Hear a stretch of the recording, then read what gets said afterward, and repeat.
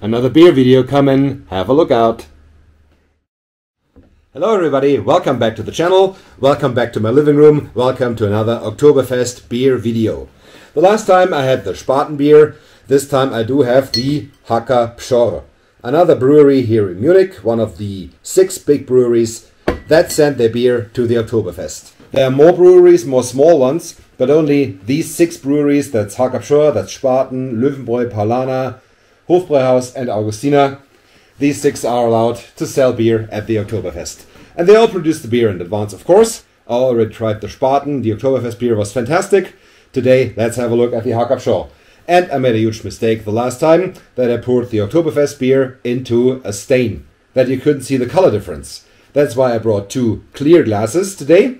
This one you know already, Oktoberfest uh, 2006. And this is a beer tasting glass but doesn't matter at all. It's only about that these glasses are both clear, so that you, that you can see the color difference between the Oktoberfest beer and the regular beer. So, let's pour some beer. I will start with the regular beer.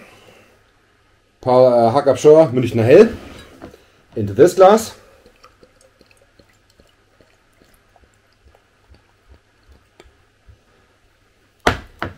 And with the Oktoberfest beer,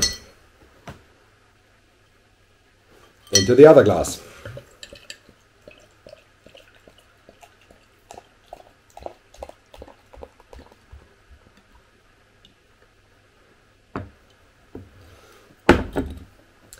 And have a look at the difference in the color. The regular beer, the bright one, the blonde beer, and the amber of the Oktoberfest beer. This is a significant difference. And uh, thank you very much for the guy who commented in the last video that I should show the colors. Here are the colors of the regular beer and the Oktoberfest beer. This is a huge difference. Could be that um, the Hacker is especially dark, but I don't know. We will find out when the Oktoberfest opens in about a week's time. But the most important thing, now we have to try the beer.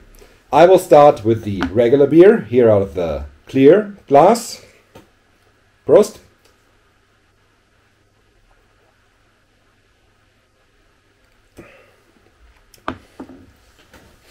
Yeah, Hacker Pschorr Münchner Hell. That's a pretty good beer.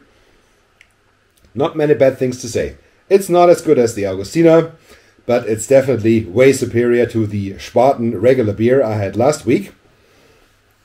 It's a good beer. It's a really good beer. Why don't I, don't I drink this stuff more often? It's good. But now the comparison, the Oktoberfest beer.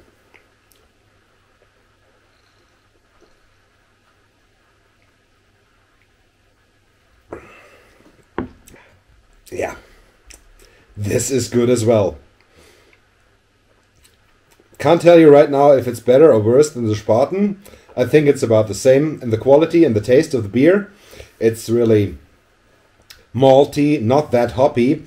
It has a very distinct taste. It's very refreshing, very crisp. It's very good. I think I have to finish this beer. And I also have to finish the other beer because the Hacker Pschorr Münchner Hell. Yeah, this surprised me right out of the gate that this is really, really good. The Oktoberfest beer, yeah, is always a very good beer.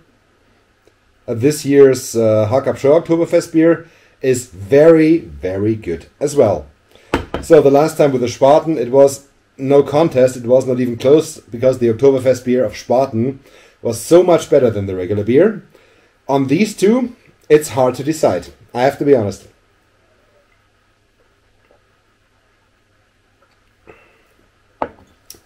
That's very good. Very tasty.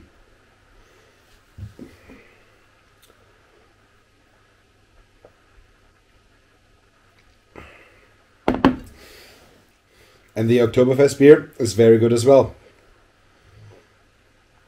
Sorry to say, I cannot crown a winner this round. Both beers are excellent. The Oktoberfest beer with the, the darker note, of course, a little more malty than the regular beer, but the regular beer is excellent as well. So it will be a lot of fun to go into one of the two Pschorr tents this year and try this Oktoberfest beer out of the stein, out of the big glass, sit in the beer garden, have a nice uh, grilled chicken or any, any other foods that they will offer because the food at the Oktoberfest is underrated. This is absolutely restaurant quality. Last year at the uh, the tent with the best food was the Ochsenbraterei. They had fantastic food. But all the other tents, everywhere where I ate something, it was very, very good. Combine this with a beer, and you have a great day at the Oktoberfest. I don't go there all evening uh, or all night to drink. I go normally I go at noon. I go to a beer garden, sit down, have something to eat, have a beer, walk around a little bit, maybe have another beer. And when the mass of the people arrive, I normally go away. And I will definitely do this again this year. Maybe not every day, but a lot of days. And I will definitely try all six beers.